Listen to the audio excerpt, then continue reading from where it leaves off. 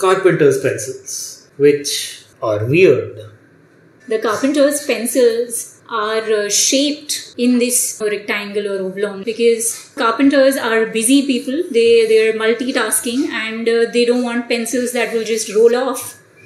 I've seen people use these almost like a guide. The flat edges of them work if I, I can demonstrate with a pencil very badly because so I see a lot of people doing that where it's Yeah. easier to keep it flat than a round edge pencil by keeping this edge against usually a piece of wood or a piece of metal or something to mark another piece of wood. So I think that also either was a design or a, just a, a happy uh, evolution of things.